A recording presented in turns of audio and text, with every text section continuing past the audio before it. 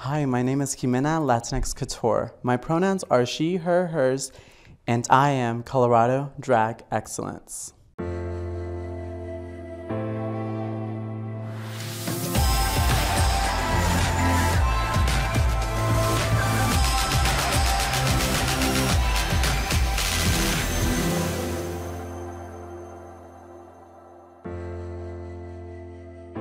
I had hit a really dark place as a boy, um, and I ended up at Charlie's one night, and I was watching the girls perform and give you everything. I was watching um, other Denver queens, Andrea Stacks and Molina, and I remember sitting in the back, and I'd been crying my eyes out the whole day, so I didn't want anyone to see me.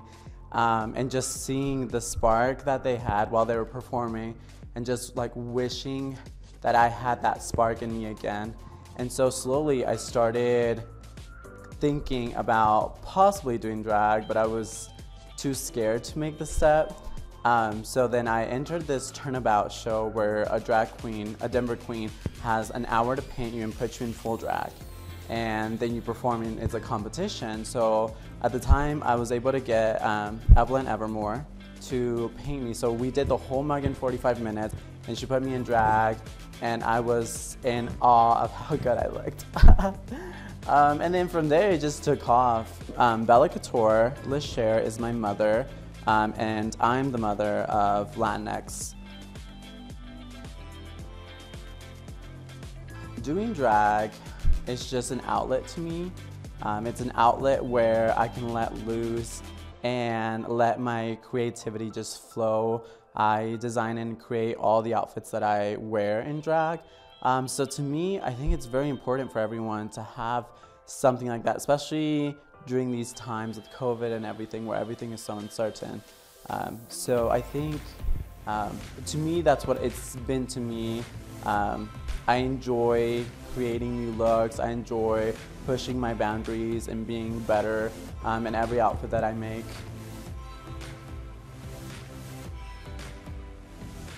So this outfit was to signify um, personal growth. Um, so for this outfit, I actually auditioned for the largest Latin drag reality TV show in the country, La Drag Queen Soy Yo, um, season two. And so the the main theme of it was fuchsia theme. So I wanted to make a dress um, that kind of broke some boundaries and broke some um, expectations. Um, so a lot of the Latin drag scene is very pageantry, um, and I'm a little bit of both pageantry because I like the smooth look, the smooth um, blended look, uh, but I do like getting to step out of the boundaries and be a little monster. Um, creating this look was um, was pretty pretty much um, challenging myself and saying um, this is essentially where my growth in drag has been from very basic little caterpillar um, going through um, metamorphosis now I'm this beautiful fucking butterfly and I wanted to make it even more dramatic so I made a huge ass train because why not?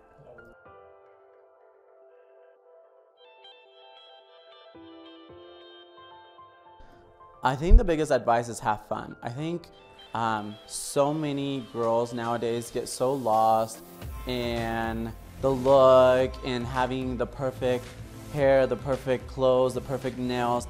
And I think you need to just enjoy the journey of drag. I think that's the biggest, um, I, that's my biggest advice for anyone that's wanting to do drag.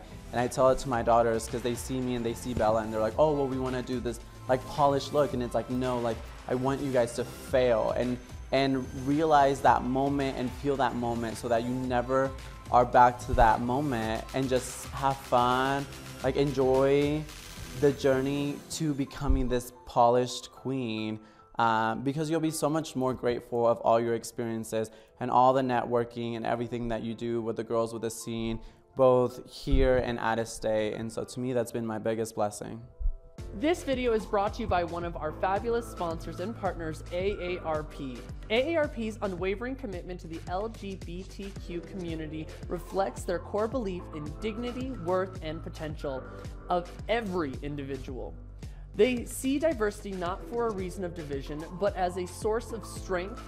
For them, LGBTQ communities are a vital part of the quilt of American life.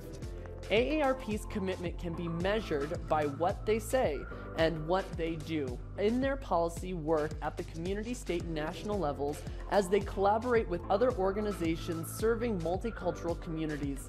In their role as an employer, as a purchaser of supplies, as an active participant in community events, they are proud to stand with LGBTQ plus members, non-members, allies, and critical stakeholders.